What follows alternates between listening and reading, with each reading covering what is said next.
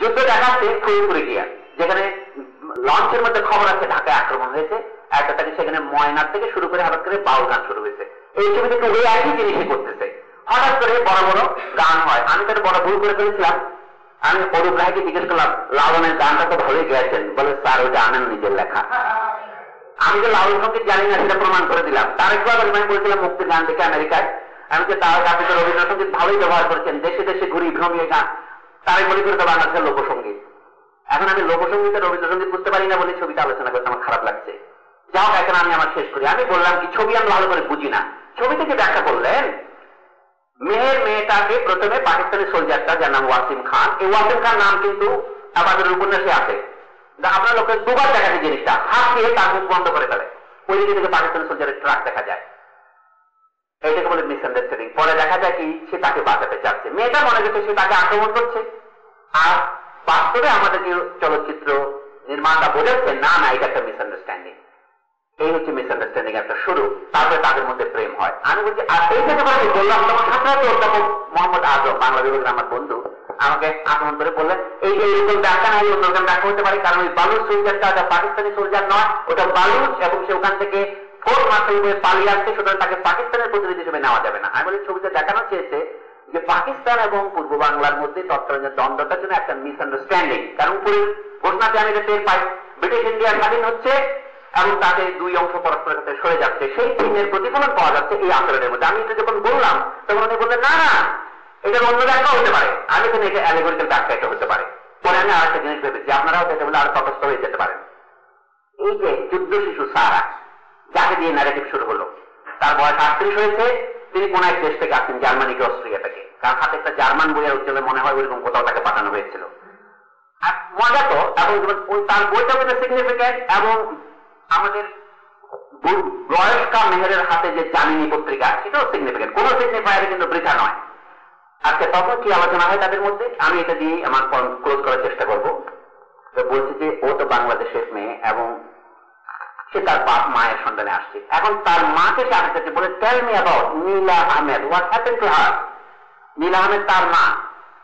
কিন্তু তার কোনো নাই জিজ্ঞেস করা tell me about my father এটা নিয়ে সে কোনো প্রশ্ন করছে না। সে পাকিস্তানি কাউকে জিজ্ঞেস করতে পারে না হুইজ দ্যাট ফাদার আমার মনে হয় এই ছবির সবচেয়ে, অনেকে আমাকে জিজ্ঞেস করছে এবং আমি ফামিদ লোককেও বলছি। ফামিদ লোকের লেখাতেও দেখলাম এই কথা আছে।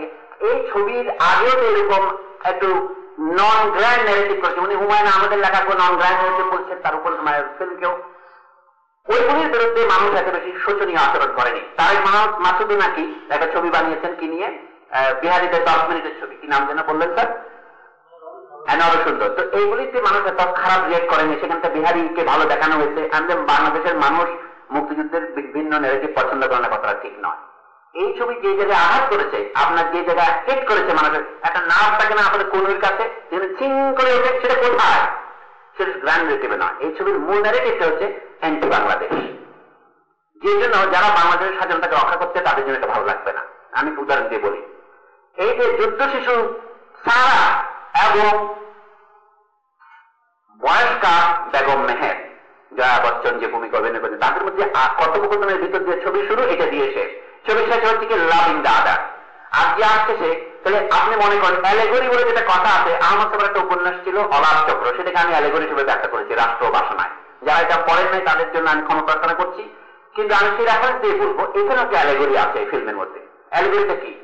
যুদ্ধ শিশু সারাই হচ্ছে বাংলাদেশ। গুলমোহন রিপাবলিকের ভবিষ্যৎ প্রতিনিধি। সে যখন বলে কি প্যাশনেট নৌমাদ হিসেবে আমি চলে যাব। যুদ্ধ শিশুই যদি বাংলাদেশের প্রতীক হয় অর্থাৎ তার মা হচ্ছে একটা বাংলাদেশি মেয়ে। She is the result of তার বাপের পরিচয় কখনো জানা যাবে না। আমি কি রহমানের উপন্যাস পড়ে আমি এই মেসেজটাই পেয়েছি এবং ফিল্মে সেটা কোনো কন্ট্রাডিকশন নাই। যে বাংলাদেশের বাপ হচ্ছে বাপ এবং উপনিষদের ভিতরে পরিষ্কার আছে, এই জন্য আমি বলছি, উপন্যাসে একটা বলা হচ্ছে, তিন মাস সে গর্ভবতী নীলা, তখন তাকে তার অন্যান্য খালারা বলতেছে, তুমি গর্ভপাত করো। তখন সে বলছে না, আমি সন্তান চাই? তখন তাকে বলছে তোমার পেটে রয়েছে রক্ত চটা হারাম যারা ওটাকে ধ্বংস করতে হবে। সে বলছে নয় সন্তান আমি চাই। কিন্তু ফিল্মে একটু করে একটা ডিটেল চেঞ্জ করেছে উইচ এ গ্রেট ডিটেল এটা যে আমি একবার প্রবন্ধে লিখেছিলাম, তিনি এটা অস্বীকার করেছেন, ছাপা হয়ে গেছে, তিনি এটা অঙ্গীকার করেছেন। এটা হলো প্রিন্টার্স টেবল কাজে এখানে একটা প্রিন্টার্স টেবল হয়েছে, আমি সন্তান চাই না চাই না, দুবার করে বলেছে। কাজেই বাংলাদেশ নিয়ে যে অ্যালেগরিক্যালি যে আঘাত করা হয়েছে ছবিতে, সেই জন্য আমি মনে করি বাংলাদেশের যুব সমাজ এটার বিরুদ্ধে রিয়াক্ট করেছে। কিন্তু অথচ ব্লগের মধ্যে ফারুক ওয়াসিদ লিখেছেন যে, না, হলে ঘর করতে মানুষ দেখছে, মানুষ রিজেক্ট করছে না। অথচ হাবিব খান এসে সেদিন গত এক তারিখে সাক্ষ্য দিলেন মানুষের রিজেক্ট করেছে বলে আমরা চার হলে এটা এমনি উঠে যাচ্ছিল। এটা ওনার সত্য মিথ্যা বলছি না, আমি শুধু স্টেটমেন্টটা দিচ্ছি। এই জন্য বললাম যে, আমাদের নানা পেতে আলোচনায়, এখন মূল কথাটা কোথায় এসে আসলো? আমরা যদি ন্যায় বিচার চাই, এটা বলছেন প্ল্যাটো, তাহলে মাঝে মাঝে স্বাধীনতাকে আমাদের খর্ব করতে হবে। এই জন্য প্ল্যাটোকে টোটালিটারিয়ান বলা হয়। হ্যাগেলকে টোটালিটারিয়ান বলা হয় মার্কসকে টোটালিটারিয়ান বলা হয়, তার কাল খবরের আক্রমণের লোক করছে ওপেন সোসাইটি এন্ড ইটস কারণ উনি বলছিলেন justice is greater than freedom আমি এদেরকে বলি ন্যায় বিচার ব্যবসায়ী। আর লোক আছে, যারা মনে করে কি স্বাধীনতা রক্ষার জন্য দরকার ন্যায় বিচার বিসর্জন দিতে প্রস্তুত আছে। এমনকি স্বাধীনতা রক্ষার জন্য স্বাধীনতা বিসর্জন দিতে প্রস্তুত আছে এদেরকে বলা হয় স্বাধীনতা ব্যবসায়ী। ইংরেজি বলে লিবারাল তাদের প্রতিনিধি হচ্ছে John Stuart Mill, on liberty বলতে দেখেন উনি বললেন যে, যদি অ্যাকচুয়ালি আপনার কোনো ক্ষতি না করে কোনো ছবি, তাহলে আপনি তাকে বন্ধ করবেন না। কিন্তু লর্ড ডেভলিন বলে ইংল্যান্ডের একজন জাজ, উনিশশো একষট্টি সালে একটা মামলা হয়েছিল ব্রিটেনে। এটা বলে শ ডাইরেক্টর পাবলিক প্রসিকিউশন সেই মামলায় বলেছিল, একজন লোক বিবৃতি দিয়েছিল পত্রিকা বিজ্ঞাপন দিয়েছিল, আমি প্রসিকিউশন সার্ভিস দিয়ে থাকি। তখন তাকে কন্ডেম করছে ইংল্যান্ডের হাউস অফ ল শাস্তি দিয়েছে। সে বলছে ইংল্যান্ডে প্রস্টিটিউশন লিগাল কিন্তু প্রস্টিটিউশনের বিজ্ঞাপন দেওয়া ওখানে ইলিগাল হবে। তখন মামলায় বলা হলো, নাম কি? এই বিজ্ঞাপনের হচ্ছে conspiracy to corrupt public morals এটা আমরা ছাত্রদের ক্লাসে পড়াই, এই মামলা। ইংল্যান্ডে এখনও বৈধ আইন সেটাই। অর্থাৎ আপনি প্রস্টিটিউশন করতে পারবেন, কিন্তু প্রস্টিটিউশনের বিজ্ঞাপন দিতে পারবেন না। বিজনেস ফোন বইয়ে। তা আমাদের মোর্শেদ ভাই সামনে আসেন, আপনার বরাদ দিয়ে বলি, আর যদি বেয়াদবি মনে না করেন। যে আপনার বক্তব্য তাই আমার মনে হলো যে এই ছবিটা চলতে থাকুক আর আমরা কন্ডেম করতে থাকি। আমি মনে করি এই ছবির কনসেপশন হচ্ছে বাংলাদেশের জন্মকে বাস্টার্ড বলা। এরপরে যদি আপনি বলেন চলতে পারেন তাহলে আমি ট্রু লিবারেল আমি কিন্তু ট্রু লিবারেল না ফ্র্যাঙ্কলি বলব আর কি। কিন্তু আমি এই জন্য একটা আন্দোলন করার প্রয়োজন বোধ করি না আমি মনে যে মানুষ ছবি দেখলে এটা বর্জন করতো। হাবিব খানের সাথে আমি একমত। কারণ এই ছবি হচ্ছে একটা মূলত অসত্যের উপর প্রতিষ্ঠিত। এখন আপনার সত্য অসত্য কাকে বলে সেদিন মজারের সাথে আমার তর্ক হচ্ছিল ওই জায়গাতেই এক তারিখের আলোচনা সভায় আমি বলে শেষ করছি। আর তর্কটা ছিল মজার বলছি কি, বাংলাদেশের সাথে পাকিস্তানের সম্পর্ক নিয়ে তুমি কি মনে করো? উনি আমাকে বললেন। আমি আমি মনে করি এটা কলোনিয়াল সম্পর্ক। এবং শুধু কলোনিয়াল নয়, বর্ণবাদী সম্পর্ক। Rape is not an individual সেখানে একজন বলছিলেন যে অল রেপস আর ইকুয়াল ওই ছবিতে দেখানোর চেষ্টা করেছে whether all rapes are patriarchal rape সেটা বলল পিয়াস করি, সেদিনের আলোচনায়। আমরা না all rapes are reprehensible. Equally condemnable. But their conversion process is not the same.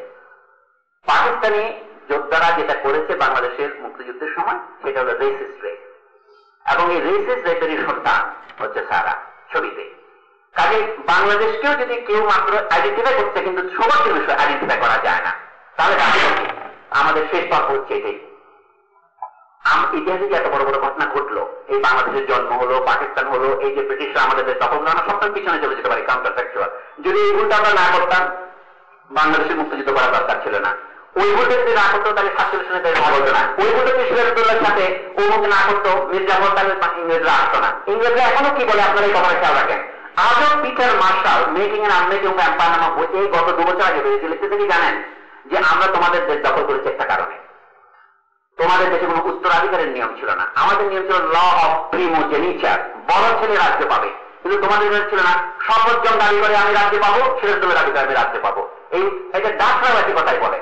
কাজে বাস্তবে আমরা তোমাদের দেশ দখল করেছি। তোমাদের উত্তরাধিকারের নিয়ম ছিল না, তোমাদের এলিট রায়, মির্জাফর রায় রায় বিনোদন রায় আমাকে ডেকে এনেছে। তাই আমরা করেছি। এই তত্ত্ব দিয়ে আমরা ইতিহাসে শেষ করতে পারব না। বাংলাদেশের জন্মটাকে যদি আপনারা একটা নিয়তি নির্ধারিত ঘটনা মনে করেন, তাহলে এই ব্যক্তি বা সেই ব্যক্তির ইচ্ছার উপর নির্ভর করে না এটা। এখন আমরা নিয়তি নির্ধারিত বলব কি বলব না সেদিন আমি একটা রেফারেন্স দিয়ে শেষ করি। ধরুন, এটা অতি পুরাতন রেফারেন্স কোপারনিকাস এবং টলেমের যে গল্প আমরা করি আমি পুরো গল্পটা বলব না একটা অংশে বলি। যে আমরা যে বসে আছি, পৃথিবী ঘুরছে তো আমরা সকলেই বলি। কিন্তু আপনি অনুভব করছেন পৃথিবী ঘুরছে এটা? কিন্তু পৃথিবী ঘুরছে না এই অনুমান যদি আপনি তর্ক শুরু করেন মানে আলোচনা শুরু করেন আপনি কতগুলো একসারিতে দিয়ে পৌঁছবেন। তাহলে তিন রাত্রে হচ্ছে কেন এটা বুঝতে পারবেন If we begin with the assumption that the world does not move, then you end up with an absurdity. কাজে আমাদের নিজের ইন্দ্রিয় সাক্ষ্যের বিপরীত কে বলতে হয় পৃথিবী ঘুরছে? অত খালি চোখে যে দেখছি অন্য গ্রহ নক্ষত্র ঘুরছে সেটা থেকে এটাকে আমার করতে দিতে হয়। এখন ইতিহাস আমরা মনে করি, আমি যা কিছু করছি সবগুলো আমার স্বাধীন ইচ্ছার ফল যেমন আজকে আমি দুবার ভেবেছি, মামুনের এই আমন্ত্রণে বেইমানি করব, আসব না। ফ্রি উইল পাসপোর্ট চাচ্ছিলাম কিন্তু কে যেন আমাকে টেনে নিয়ে আসছে। আপনারা অনেকেই হয়তো আসতে চেয়েছিলেন এখন আসতে পারেন নাই।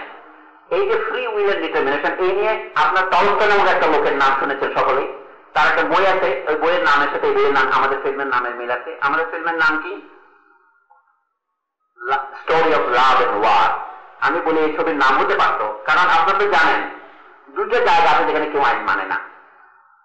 একটা লাভ একটা ওয়ার কাজে এটা বলা যেত ছবিটার নাম হতে পারতো war and war love war অথবা লাভ অ্যান্ড লাভ কিন্তু বই লিখেছিলেন, তার নাম ওয়ার অ্যান্ড পিস সেই বই লিখে তার তৃপ্ত হয় নাই, এক হাজার পৃষ্ঠারও বড়। তারপরে দুইটা প্রবন্ধ লিখছেন। এপিলোগ ওয়ান এপিলোগ টু এগুলি প্রায় একশো পৃষ্ঠা দীর্ঘ দুটো মিলে, এগুলি লোকে পড়ে না। আমি এপিলোগ টু শেষ দিক থেকে একটা প্যারাগ্রাফ আপনাদের যে পরিসীমায় আশা করি ব্যাধবি নেবেন না, আমি এখানে শেষ করছি। সেটা বলছে ফ্রি উইল অ্যান্ড ডিটারমিনেশনের মধ্যে যদি আমরা মনে করি, সবাই আমরা ফ্রি আপনারা ভুল করবেন। আমরা কেউ একটা ফ্রি নয় এবং কীভাবে যে আমরা আইনের অধীন, সেটা আমরা জানি না। তাহলে আমাদের কাজ কি? শিল্পের কাজ কি? বিজ্ঞানের কাজ কি? সেই আইনটা আবিষ্কার করার চেষ্টা করা। যে যে যার মনের ইচ্ছেকে আইনগুলো চালিয়ে দিলে চলবে না। তলস্ট কি বলছেন দেখেন? উনি বলছেন, as in the question of astronomy, then, so in the question of the earth lay in abandoning the immediate sensation of the earth's fixity and of the motion of the planet so in history the difficulty of recognizing the subjection of personality to the laws of space, time and cause lies in uh, renouncing the direct feeling of the independence of one's own personality. But as in astronomy, the new view says, it is true that আমি এখান থেকে আমাদের দৃষ্টি আকর্ষণ করবো এটা তহস্টের setting মূল বক্তব্যটা ছেড়ে দেব It is true that we do not feel the movement of the earth, but by admitting its immobility, we arrive at absurdity. While by admitting its motion, which we do not feel, we arrive at laws. So also in history, the new view says, যেটা টলস্টয়ের view, সেটা হচ্ছে, it is true that we are not conscious of our dependence, but by admitting our free will, we arrive at absurdity. While by admitting our dependence on the external world, on time and on cause, we arrive at laws. কাজে আমি বলব মেহেরজান ছবি যারা দাবি করছে এটা ঐতিহাসিক ছবি নয় এটা জাস্ট আমার ফ্যান্টাসি ছবি এটা আমার এটা কমার্শিয়াল ছবি এটা তো পয়সা ষাট কোটি টাকার ছবি আমি লাভ করার উদ্দেশ্যে বানাইছি এটা আমি মনে করি total fantasy there are determinations, there are laws. সেই laws হচ্ছে কি this is a profoundly anti-liberation warfare. Thank you. অধ্যাপক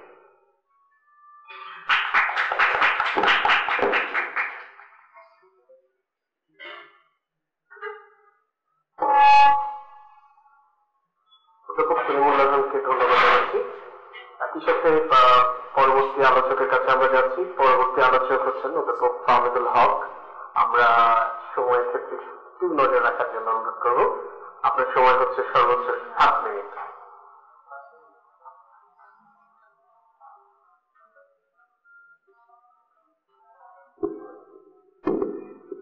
ধন্যবাদ। এতক্ষণ আমরা প্রথম বক্তা জনাব সলিমুল্লাহ খানের বক্তব্য শুনছিলাম। তিনি প্রাজ্ঞ জ্ঞানী মানুষ এবং সুবক্তা। কিন্তু আজকে প্রথম তার বক্তব্য শুনে আমি খুব বিস্মিত হলাম। তিনি বলছেন, এই ছবিটা নিষিদ্ধ করা যেতে পারে। যে ক্ষেত্রে আমরা জানি অন্তত চলচ্চিত্রের ক্ষেত্রে এই যে সেন্সরশিপের যে ইতিহাস, সেটা হলো ক্রমশ সেন্সরশিপ থেকে সরে আসার ইতিহাস এবং প্রয়োজনে গ্রেডিং সিস্টেম চালু করা। সেদিনের সে আলোচনা রেফারেন্স উনি দিয়েছেন এবং সেখানে আমাদের মোর্শেদ ভাই স্পষ্ট বোঝা যাচ্ছিল তিনি এই ছবির কন্টেন্টের এগেনস্টে কিন্তু তিনি বলেছিলেন, আমার মনে পড়ে যে একজন রাজা কারও যদি একটি ছবি বানায়, তাহলে সেই ছবিও আমি সিনেমা হলে প্রদর্শন করার পক্ষে। এর মধ্যে আমি এই ছবিটি নিয়ে একটি ছোট্ট নিবন্ধ লিখেছিলাম প্রথম আলোতে সেখানে আমি বলেছি যে, এবং সেই নিবন্ধ লেখার কারণে কেউ কেউ আমাকে মেহেরজান পক্ষের গ্রুপে ঠেলে দিয়েছেন। সেটা হয়তো লেখার ভাগ্যে সেটাই ঘটেছে। যদিও আমি ছবিটা লিখেছি লেখাটা লিখেছিলাম একটা ভিন্ন অ্যাসপেক্ট থেকে। সেটা হলো যে, আমি সেদিনও বলছিলাম যে, আমি সাধারণত চলচ্চিত্র নিয়ে একটু একটু গবেষণা করি, আগ্রহী, এবং এবং বেশ কিছু ছবি নিয়ে আমি ইন্ডিভিজুয়াল টেক্সচুয়াল অ্যানালিসিস করেছি। সেটা সাম্প্রতিক বেশ কয়েকটা ছবি। তো আমি হয়তো ছবিটা নিয়ে লিখতাম অথবা লিখতাম না, আলাদাভাবে। ছবিটা দেখার পরে সময় নিয়ে। কিন্তু ছবিটা নিয়ে যেভাবে রিয়াকশন হলো, সেটা আমার কাছে সবচেয়ে বেশি দৃষ্টি কাড়ে এবং এই রিয়াকশনের ধরন দেখে আমি আসলে আমার লেখাটা ওইভাবে লিখতে বাধ্য এখন কথা হলো যে আমি মোর্শেদ যদি বলি যে একটি রাজাকারের ছবি, কিংবা সলিমুল্লাহ ভাইয়ের মতে এটি একটি অ্যান্টি বাংলাদেশি ছবি, অথবা একটি বাংলা, যে ছবিতে বাংলাদেশের জন্মকে একটি কি বলব, যে বাস্টার্ড বার্থ বলা হচ্ছে বলে তিনি প্রমাণ করেছেন, করতে চাচ্ছেন। সেই সবকিছু মেনে নিয়েও আমি মনে করি যে একটা ছবি চলতে দেওয়া উচিত। এবং সেটা নানাভাবেই এটা যদি মনে হয় আপত্তিকর বর্জন করা যেতে পারে। সেটা না দেখে সেটাকে চুলচেরা বিশ্লেষণের মাধ্যমে এবং সেটাকে সেটাকে সত্যিকারের যুক্তি, তর্ক, বিশ্লেষণ দিয়ে প্রতিরোধ করার মাধ্যমে। আমার লেখা আমি এটাও বলতে চাইছিলাম যে এই ছবি, যে এই যে মানে আমি ধরে নিই যদি এটা বাংলাদেশ বিরোধী ছবি, মুক্তিযুদ্ধ বিরোধী ছবি। যে বেনিতে দাঁড়িয়ে এটাকে মুক্তিযুদ্ধ বিরোধী ছবি বলা হচ্ছে সে একই রকম কিছু উদাহরণ আমি আমার লেখায় তুলে ধরেছিলাম। সেটা আজকে আর আমি ডিটেল না বলি, আমি সলিমুল্লাহ ভাই সেসব ইতিমধ্যে বলে ফেলেছেন। যে আমি কি কি ছবির কথা বলেছিলাম ওখানে, যেগুলো এর আগে এর আগে এই ধরনের ছবি নির্মিত হয়েছে এবং ঠিক এতটা না হোক নানাভাবে মুক্তিযুদ্ধে যে আমার ভাষায় গ্র্যান্ড ন্যারেটিভ সেটার বাইরে পড়েছে সেই ছবিগুলো। এখন আমার প্রশ্ন হতে পারে, আমি আরেকটা অ্যাসপেক্ট থেকে সেই লেখাই, আমি আজকে যে বলছি সেটা আমার সেই লেখারই আসলে এক ধরনের রিপিটেশন হবে। আরেকটা অ্যাসপেক্ট থেকে আমি বলতে চাচ্ছিলাম যে, আমি এটা খুব নিশ্চিত না, কিন্তু আমার মনে হয় এবাদুর রহমান যদি এই উপন্যাসটা বা চিত্রনাট্যটা বা এই ছবিটা আশির দশকে কিংবা নব্বই দশকে লিখিত বা নির্মিত হতো, তাহলে মুক্তিযুদ্ধের পোর্ট্রেল ঠিক একই রকম হতো কিনা? আমরা সলিমুল্লাহ ভাইয়ের লেখাতেই পড়েছি যে নাইন ইলেভেনের কি সাংঘাতিক ইম্প্যাক্ট গ্লোবালি করেছে। ইরাক আফগানিস্তান হামলার কি সাংঘাতিক ইম্প্যাক্ট গ্লোবালি করেছে স্পেশালি মুসলিম কমিউনিটির মানুষের পক্ষে সেখানে কি শুধু মানুষ সেখানে কি শুধু মুসলিমরা মরছে নাকি সেখানে মানুষও মরছে? আমরা যদি ধরে নিই তারা মানুষও তাহলে সেই একই ধর্মাবলম্বী অন্যান্য দেশের যে মুসলিম কমিউনিটি তাদের response towards the imperialistic aggression সেটা কি আগের মতো থাকবে, নাকি একটু ভিন্ন রকম হবে? যদি ভিন্ন রকম হয় বলে আমরা ধরে নিই, আমি মনে করি যে আজকের সময়ে আজকে যে ক্রিয়েটিভ এক্সপ্রেশন আমরা দেখছি বিভিন্ন সাহিত্য চলচ্চিত্রের মাধ্যমে, সেটা দ্বারা আমি যখন ঐতিহাসিক ছবি নির্মাণ করতে যাব, তখন তার একটা প্রভাব পড়ার একটা সময় সম্ভাবনা আছে। সেটা বিপজ্জনক হলেও আছে। এবং আমরা মানি বা না মানি, আমরা সেকুলার মন মানুক বা না মানুক, একটা পরিবর্তন কিন্তু মুসলিম আইডেন্টিটিতে ঘটে চলেছে।